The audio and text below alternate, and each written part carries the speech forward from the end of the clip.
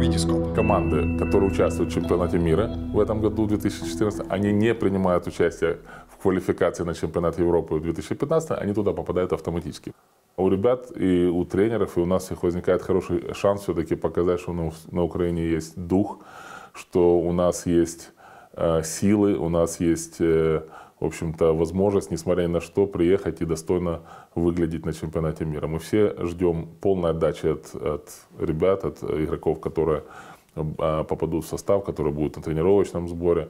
И, естественно, что тренерский состав, который приедет, будет тоже намерен. Э, они все понимают, э, и Майк Фрателло, и его все тренера, которые с ним э, приедут, все понимают. Они звонят, звонят каждый день, интересуются ситуацией, получают информацию, занимаются сегодня непосредственно селекция. Вот, например, мы э, сегодня получили информацию, ну сегодня я имею в виду, а у нас э, группа, тренерская группа во главе с Майком Форделом нашла двух игроков.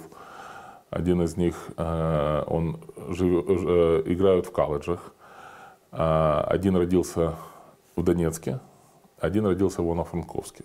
У, одного, так еще символично, да, один в Донецке, один в Ивано-Франковске, да.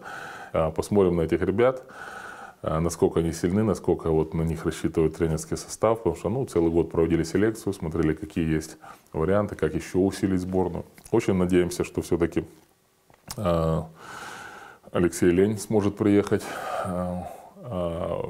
Сегодня он как бы игрок, который представляет Украину в НБА. То, что игрок, каждый игрок может получить на чемпионате мира, на чемпионате Европы и, скажем, со стороны опыта и со стороны будущего, это, в общем-то, незаменимый опыт, и всегда его надо использовать. Если есть малейший шанс сыграть на таких соревнованиях, всегда надо использовать. Витископ. Спортивное видео.